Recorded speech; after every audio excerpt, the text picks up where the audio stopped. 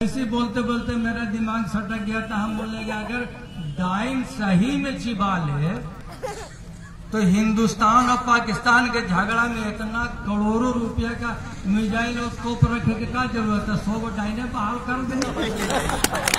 रात भर में पाकिस्तान के खा जाता हूँ।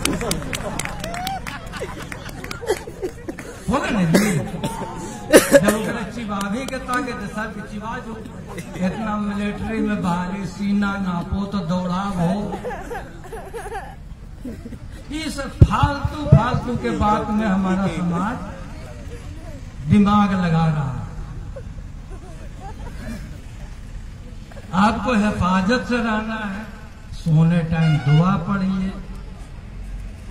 नमाज़ में मस्जिदों को कसरत से भरें। ये मेरा काम है। और उसके लिए भी वक्त मिलता है, बहुत सारे बोले, नमाज़ पढ़ेगा टाइम ना हो टाइम हो। दूसरा को गाली देवेला चार घंटा वहाँ खड़ा रहेगा। और नमाज़ पढ़ेगा टाइम ना। दूसरे के शिकायत बतियाला, अभी ठाम ना, जरा हम बतियाई थे। कुछ बतियाए थे? नाना मर गए है? अरे, पाँच से दस मिनट का वक्त होता है नमाज़ का। एक मिनट अगर हवा बंद हो जाए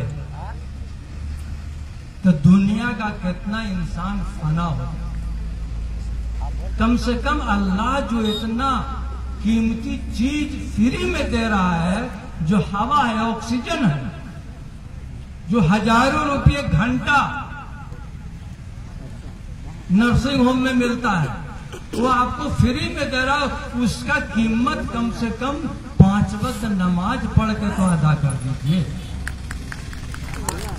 तब समझेंगे कि हम ईमानदार कौन है? जो अल्लाह दे रहा है, उसका भी कुछ कर जब अब वापिस नहीं कर रहे हैं। तो ये सब हमको सोचने की बात है। और आप लोग ऐसे जमे रहिए। हम लोग गया में भी जा रहे हैं। जहाँ मौका मिलता, वहाँ धरना स्थल पर जा रहे हैं। एक बात मान लीजिए कि हम कोई नेता उता नहीं है। मिला जुला इंसान है और आप लोगों की दुआ की ज़रूरत है। भाई आप लोग भी हमारे ये दुआ कीजिए कि हम लोग कौम की खिदमत के लिए और आगे बढ़ते रहें। खुदा हाफिज। सलाम वालेकुम